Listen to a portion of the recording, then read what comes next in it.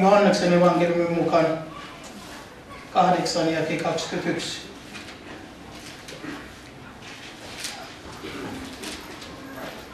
Se on tuttu, tuttu sana ja tuttu paikka. Sano näin. Jake 31, anteeksi. Sitten Jeesus sanoi niille juutalaisille, joka uskovat häneen. Jos te pysytte minun sanassani, te todella olette minun opetuslapseni. Ja tulette tuntemaan totuuden, ja totuus tekee teistä vapaita. Jeesus sanoi sen niille juutalaisille, jotka uskosivat, että hän on Kristus Jeesus, Jumalan poika. Niille, jotka uskovat Jeesuksen, että hän on Messiah. Niille hän sanoi, että uh, jos he elävät hänen sanan mukaisesti, se sana vapauttaa heidät. Vaikka he uskoisivat hänet, heidän sydämessä oli side. Koska Jumala näkee aina meidän sydämemme. Ja Herra on nähnyt heidän sydäntä kanssa. Ja Jeesus ei halunnut, että he elävät ja seuraavat ja palvelevat häntä sidoksessa. Eikö? Jokainen, joka uskoo hänen, täytyy olla vapaa. Ja hän on kutsunut ja pelastanut meidät vapauteen. Kun on vapaus, miksi joku elää sidoksissa? Kun on vapaus, kun Jeesus on tarjonnut meille vapauteen. Miksi? Joka usko hänet piti olla vapaa kaikesta kahdesta Jeesuksen Kristuksen mukaan. Kahdessa ei voi seurata Jeesusta. Sidoksessa ei voi seurata Jeesusta. Sitä varten hän on tullut maailman, että hän vapauta meidät sidoksesta ja kahdesta. Pystykö olla vapaa sidoksesta tai kahdesta? Pystykö olla? Pystyy. Siunausta. Kyllä. Totta kai pystyy olla vapaa. Miten? Miten pystyy olla niin kuin vapaa sidoksesta tai kahdesta? Miten Jeesus sanoi juutalaisille, jotka uskosivat hänet? Jeesus sanoi, jos, jos pysytte minun sanassani, tulette tuntemaan totuuden. Siis vapauden totuuden. Ja totuus vapauttaa teidät. Eko? Jos te pysytte minun sanassani, Amen. se sana vapauttaa teidät, jos te elätte minun sanan mukaisesti.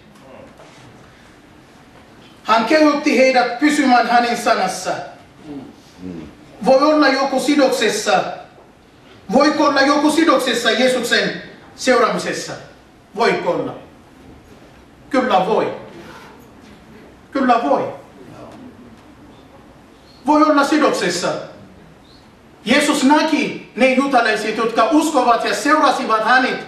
He olivat sidoksessa. He seurasivat, he julistavat, että hän on Messiah Jumalan poika. Siksi heidän sydäntä oli sidottu. Heillä oli kaikenlaisia ajatuksia heidän sydämessä.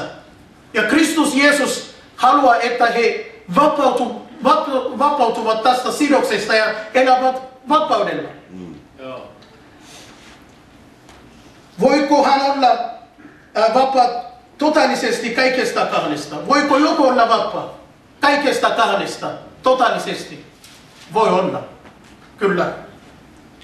Jos hän pysyy Herran sanansa, tarkoittaa, että jos hän elää sanan mukainen elämä, jos elää Herran kanssa, jos pystyn elää, miten Herra haluaa, että minä elän, silloin se sana, Kristuksen, Jeesuksen sanan voima voi vapauttaa minua sidoksesta.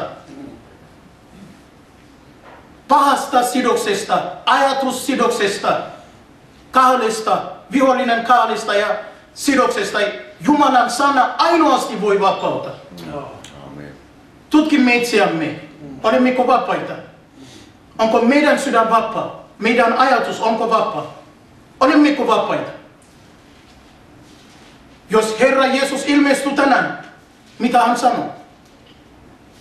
Jos fyysisesti hän ilmestyy näin, sanoko samalla tavalla kuin mitä hän on sanonut juutalaisille?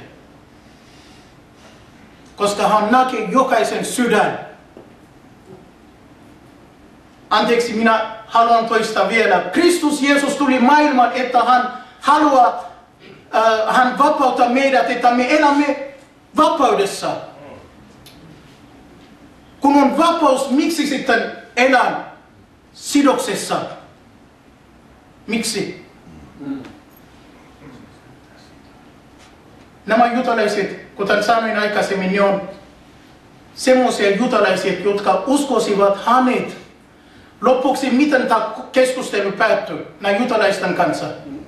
He sanovat, että sinä olet samaralainen ja sinulla on devil.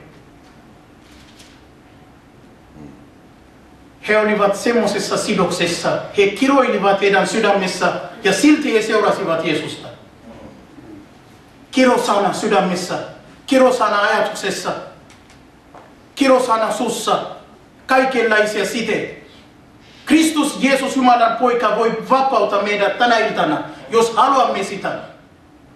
Jos haluamme sitä, koska en minä ole sanonut sitä, mutta Jumalan sana on sanonut. Herran sana voi vapauttaa meidät. Voidaan rukoilla vähän? Joo. Ajattele, Kristuksen Jeesuksen sana, sanassa on voima. Jeesus sanoi, jos sana pysy heissä, tai jos he pysyvät Jumalan sanassa, tarkoittaa, että jos me elämme sen sanan mukaisesti, Jumalan sanan mukaisesti, se sana antaa meille vapauden. Halleluja. Kristus Jeesus, Jumalan poika. Herra, minäkin voisin sanoa, minä uskon sinua, Herra, tänä iltana. Mutta sinä, kun tutkit minun sydämeni, Herra, mitä sinä sanoit, mitä sinä, mitä sinä sanoit, kun sinä näet ja tutkit, tutkit meidän sydämemme, Herra. Minkälaisessa kahdessa sidoksessa me ollaan, Herra. Sinä näet Kristuksen Jeesuksen nimessä, Herra. Synnin kahdet, Herra. Kaikenlaisia kahdet Jeesuksen Kristuksen nimessä, Herra. Vapauta meidät. Auta meidät. Jeesuksen Kristuksen nimessä, Herra. Auta meitä, Herra. Kristuksen Jeesuksen nimessä. Sinun sanassa on voima, Herra. Turhaan sanomme, että olimme uskovaisia sinun seuraaja, Herra. Mutta, Herra, olenko oikeasti sinun seuraaja? Herra, vapauta meitä kaikista pahasta ajatuksesta, sidoksesta, pahasta mielestä ja ajatuksesta. Herra Jeesuksen nimessä, kaikista synnistä myös. Jeesuksen nimessä, Herra, auta meitä, että pystymme elämään sinun sanan mukaisesti. Sinun elävä sana elämissä, Herra. Auta, Herra. Jeesus. Turhalla ylpeydellä, Herra, sanoin, minä olen palvelija ja sinun seuraaja. Se on turha ylpeys, Herra. Mutta tänään, Herra, sinä, joka näit joka, jokaisen sydämen, Jeesuksen nimessä, Herra, puhdista meidän sydämemme ja ajatuksemme, Herra. Se vihamieli, joka pyöri joku mielessä, se kostomieli, Jeesuksen Kristuksen nimessä, Herra, vapauta hänet tästä kostoajatuksesta ja mielestä. Jeesuksen nimessä kosto ei ole pyhän hengen ajatus. Jeesus vapauta sen ajatus, joka haluaa kostaa. Jeesus, joka sanoo, että hän on sinun seuraaja, mutta joka samalla haluaa kostaa. Jeesus vapauta hänet. Jeesuksen nimessä sinun sanassa ja veressä on voima. Vapauttaa hänet tästä, Herra, sidoksessa Jeesuksen nimessä. Olet puhunut hänelle tänään, Herra, tämä ei kelpaa sinulle.